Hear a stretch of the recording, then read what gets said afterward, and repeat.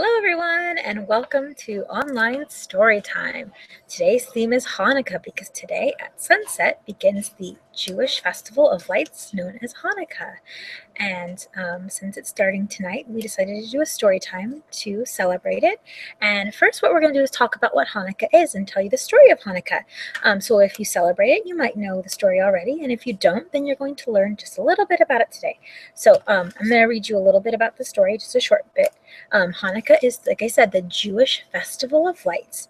It's a holiday that commemorates the victory over the Greek army in 145 BC when the temple in Jerusalem was restored to Jewish worship. According to tradition, there was only enough sanctified oil to light the temple menorah for one day. The oil miraculously burned for eight days, long enough for more, more oil to be brought to Jerusalem. Since then, oil and light have been part of celebrating Hanukkah. The nine branch Hanukkah lamp, or, or what um, is called the menorah, is lit each night, beginning with one candle and ending with eight. And then they cook foods in oil like um, potato pancakes, known as latkes, and jelly donuts um, to commemorate the use of the oil, and they're very tasty. Um, and they play games uh, as well with things like dreidels, which we'll talk about in a little bit, um, to celebrate Hanukkah. And they also give gifts, just like we do for Christmas. So um, we're going to have some fun stories and have a good time today. So I hope you are super excited and ready. So we'll jump right in. And our first story is called Hanukkah Bear. You see the Hanukkah bear there?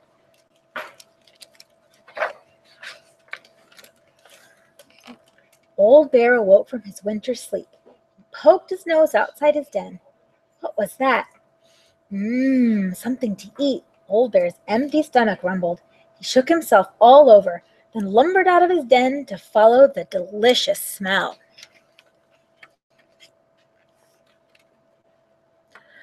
Baba Brenya took the last potato latke from the pan and put it in the oven with the others. Baba Brenya was 97 years old and did not hear or see as well as she used to, but she still made the best potato latkes in the village. Every year at Hanukkah time, all her friends came to her house on the edge of the forest. How they loved those latkes.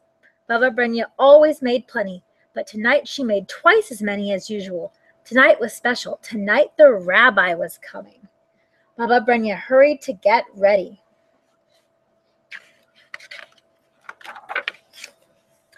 Just then she heard a thump on the door. She opened it. Rabbi, you're here early. How nice to see you.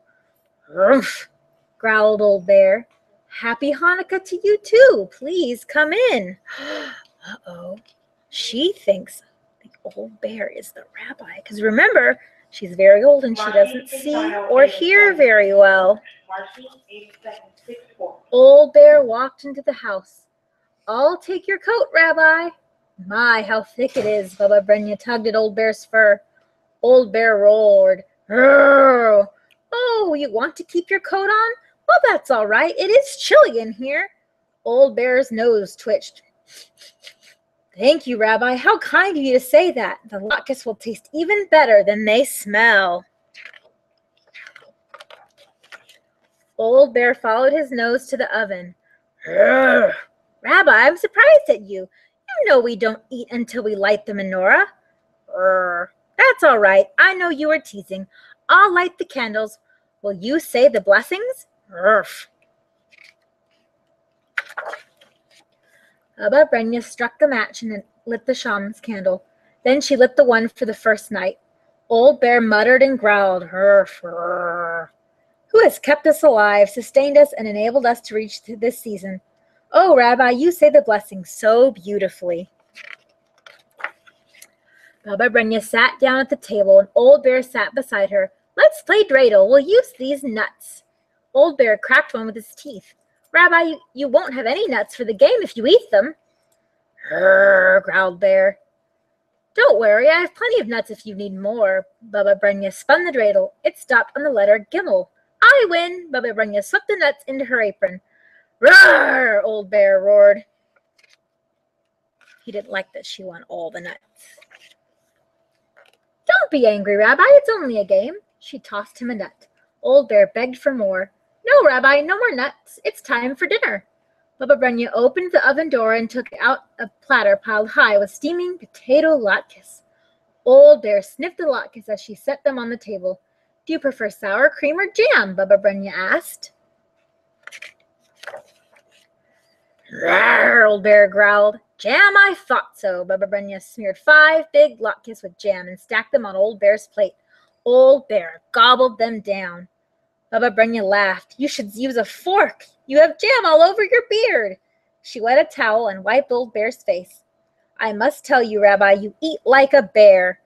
Rawr! I'm hungry like a bear, so I eat like one. I can see that, Baba Brenya said.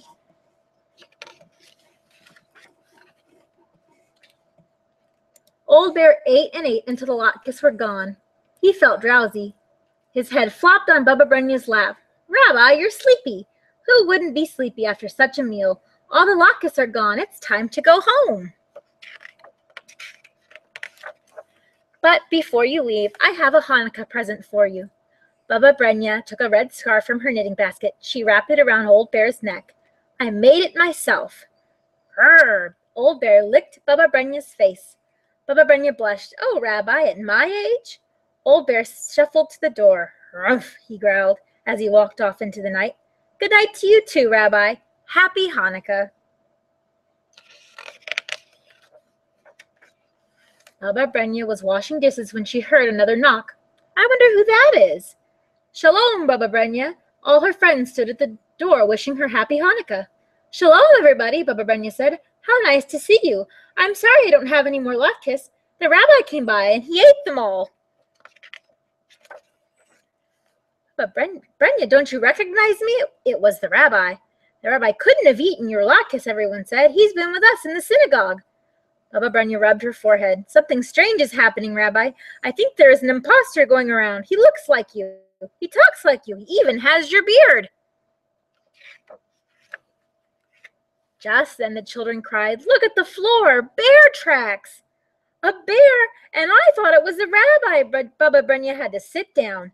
Soon she began to giggle. That was a very clever bear, or a very foolish Baba Brenya. Ah, oh, well, let the bear have a happy Hanukkah. I had a happy Hanukkah too, and so will you, dear friends. Bring some potatoes from the cellar. Fetch my grater and bowl. Everybody has to help. You too, Rabbi. If we all work together, we'll soon have latkes for everyone. Deep in the forest, Old Bear slumbered in his den. His stomach was full of potato latkes. The warm woolen scarf was wrapped snugly around his neck. Pleasant dreams, Old Bear, and happy Hanukkah. So even the bear got to have a happy Hanukkah, even though he ate all those potato latkes that were not meant for him. And he got to get a present too. All right. Our next story is called It's Hanukkah, and it's got a little family of rabbits. Let's see what they're up to. It's Hanukkah. The candles are so bright they shine out into the night. We gather around real close to light. We give a toast. We listen to a tale. Our imaginations sail. We all dance the hora, even great Grandma Laura.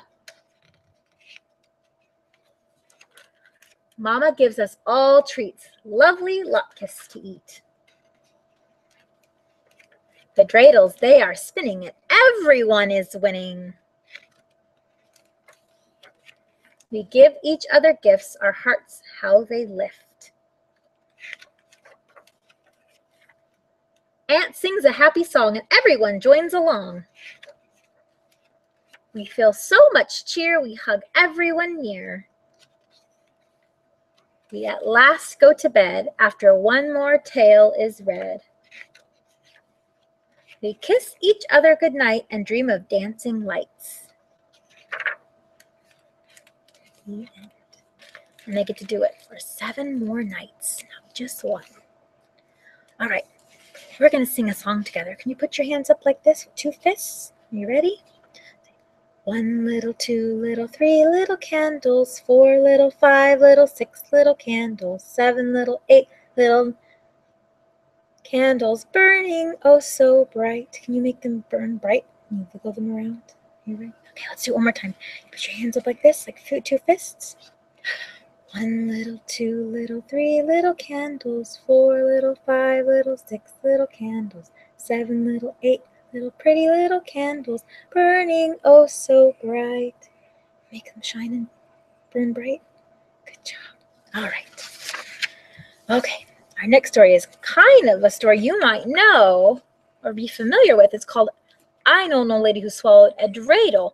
Normally she swallows a fly, but in this story she's going to swallow a dreidel. Let's see what happens to her. I bet it would be just as silly.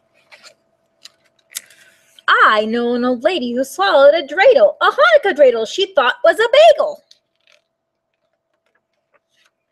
Perhaps it's fatal. I know an old lady who swallowed some oil, a pitcher of oil about ready to boil. She swallowed the oil to wash down the dreidel, a Hanukkah dreidel she thought was a bagel. Perhaps it's fatal. I know an old lady who swallowed some latkes, five lot platters of latkes hot from the potkis. She swallowed the latkes to fry in the oil that bubbled and tumbled about ready to boil. She swallowed the oil to wash down the dreidel, a Hanukkah dreidel she thought was a bagel. Perhaps it's fatal. I know an old lady who swallowed some sauce, some smooth applesauce that she downed in a toss. She swallowed the sauce to sweeten the latkes. She swallowed the latkes to fry in the oil that bubbled and tumbled about ready to boil. She swallowed the oil to wash down the dreidel, a Hanukkah dreidel she thought was a bagel. Perhaps it's fatal. I know an old lady who swallowed a brisket, a 20 ton brisket. She thought she could risk it. She swallowed the brisket to soak in the sauce. She swallowed the sauce to sweeten the latkes. She swallowed the latkes to fry in the oil that bubbled and tumbled about ready to boil. She swallowed the oil to wash down the dreidel, a Hanukkah dreidel that she thought was a bagel. Perhaps it's fatal.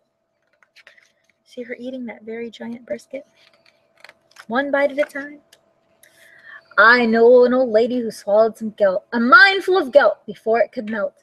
She swallowed the gelt to follow the brisket. She swallowed the brisket to soak in the sauce. She swallowed the sauce to sweeten the latkes. She swallowed the latkes to fry in the oil that bubbled and tumbled about ready to boil. She swallowed the oil to wash on the dreidel, a Hanukkah dreidel she thought was a bagel. Perhaps it's fatal.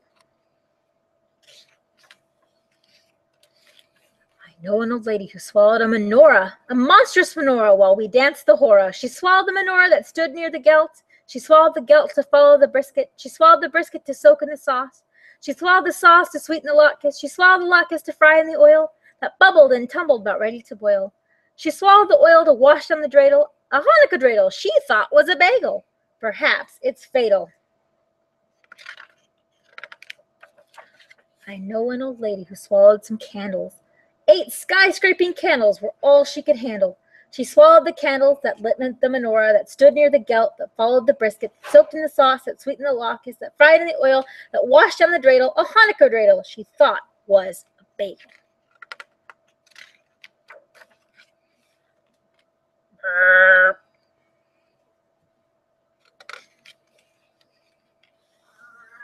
perhaps it wasn't fatal.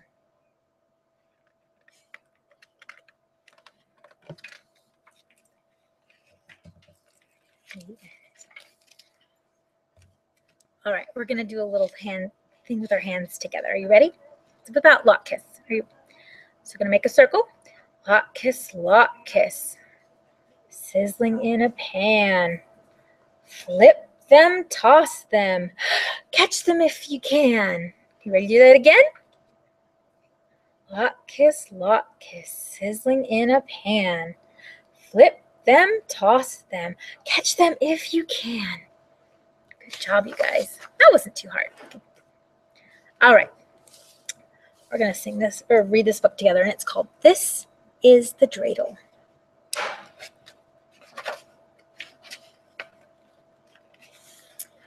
This is the dreidel Max takes from the drawer when he has placed it in one year before. This is a menorah down from the shelf. Max gets the polish and shines it himself. This is the rainbow of candles. We'll choose one for the sham- shamash and others will will use.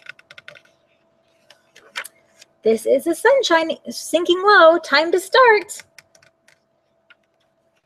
This is the blessing Max knows by heart. Over the candles his sisters will choose. Reds and yellows and purples and blues. In the menorah down from the shelf, golden gleaming that Max polished himself. After the dreidel comes out of the drawer where Max had placed it just one year before. These are the windows where candles are bright. There's one for the shamash and one for each night. These are the gifts we give one another mother, father, and sister and brother. Max decorated a tall picture frame. Ruth drew the family and spelled out her name. These are the relatives at the door. This is what Max has been waiting for. These are the latkes piled on a plate. Max is so hungry, he says he'll eat eight. This is the dreidel Max spins on the floor. He hopes that he doesn't get nun anymore. These are the stories we tell about the oil and the flame that wouldn't go out. Antiochus, Judah, the great Maccabee, the temple soiled, the temple made free. These are the songs that we sing to declare that once a great miracle happened there. These are some presents of Hanukkah gelt. Better eat quickly or else they will melt. This is the pushka, and it's good it's a good deed for Max to give money for people in need. This is the family gathered around, watching the candles like stars burning down, after the stories and songs that declare that once a great miracle happened there. The latkes, the gelt, and the guests at the door, all of the things that Max waited for. The pushka that's filled for it's a good deed, to help other people when they are in need. The gifts that the family shared with each other, brothers and sister, father and mother. Goodbye to the candles so brave and so bright. Goodbye to the wonder of Hanukkah lights.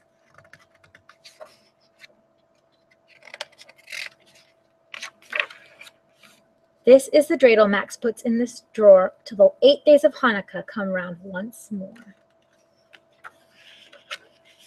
The end. All right. We are going to talk about a dreidel, our own dreidel, and we're going to sing a song about a dreidel. I bet you know it because it's a pretty famous song. First, I'm going to show you, and this is a dreidel, and it kind of looks like a pretty normal toy that I bet you know it, like a top, and it spins just like a top, and you get to play a game with it.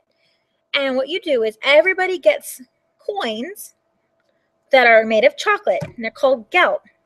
And you play a game, and you spin the top. Each take a turn, and these little symbols, they're in a language called Yiddish, and they mean different things. This one is stands for a word called nun, and when you get this symbol, it means that you get to you can't take anything out of the pot in the middle. Then when you, if you get this symbol, it's called gimel. And if you get this, you get to take everything out of the pot. So you win. You win everything in the middle. If you get this symbol, it's called hay, and it stands for half. So you get to take half of what's in the middle of the pot. And if you get this symbol, it's shin, and it stands for put in, which means you have to put in some of your own into the middle. So you have to share some of yours and you play until somebody wins everything and then you can start all over again and it's a lot of fun so we are going to sing a song about our dreidel are you ready i bet you know it dreidel dreidel dreidel i made it out of clay and when it's dry and ready my dreidel i will play you ready you sing it again with me dreidel dreidel dreidel i made it out of clay and when it's dry and ready my dreidel i will play is that fun? You can sing it on your own now at home. All right, let's read our next story. It's called How Do Dinosaurs Say Happy Hanukkah? Did you know dinosaurs celebrate Hanukkah? Dinosaurs do lots of fun things. Does a dinosaur act up on Hanukkah nights when Mama comes in with the holiday lights? Does he fidget and fuss through the candlelight prayer? Does he blow out the candles when no one is there? Do you see him blowing out the candles? It's not a birthday cake. You're supposed to let them be lit. Does he peek at the presents stashed under Dad's bed? Are you supposed to peek at the presents, do you think? Does he write his own name on each gift card instead? And the very next day, does he grab up the gelt? Remember what we said gelt was? They're coins, but they're made of chocolate, so they're candy. Squeezing the candy coins till they all melt. Does he snatch away dreidels so no one else plays? Does he do this for each of the eight festive days? No. A dinosaur doesn't. He sings every prayer, takes turns with the dreidel, and remembers to share. He eats up his latkes, helps clear away dishes, gives Bubby and Zayde big Hanukkah kisses. Each time he's in bed for eight nights, hear him snore. Happy Hanukkah, happy Hanukkah, you good dinosaur. So he's a good dinosaur and he behaves every night of Hanukkah. Okay. We have one more song to sing together, and we're going to sing it to the tune of Twinkle, Twinkle, Little Star. But it's called Twinkle, Twinkle, Hanukkah Lights. Are you ready? Twinkle, twinkle, Hanukkah lights shining brightly for eight nights. See the dreidel spin around. Eat some latkes crisp and brown. Twinkle, twinkle, Hanukkah lights shining brightly for eight nights. To sing it one more time. Are you ready? Twinkle, twinkle, Hanukkah lights shining brightly for eight nights. See the dreidel spin around. Eat some latkes crisp and brown. Twinkle, twinkle, Hanukkah lights shining brightly for eight nights. Alrighty, everybody. Well, I hope that as the sun's starting to go down, it is officially Hanukkah. So I hope that for those of you that celebrate, you have a wonderful, happy Hanukkah. And for those of you that don't, that you've learned just a little bit about what our Jewish friends are celebrating the next eight nights. And um, you can wish them a happy Hanukkah if you know anybody that is Jewish. Anyway, um, we'll see you next Tuesday for our next story time, which will be classic Christmas stories. And um, we hope that you have a lovely, um, happy evening. Happy Hanukkah, everyone. See you next Tuesday.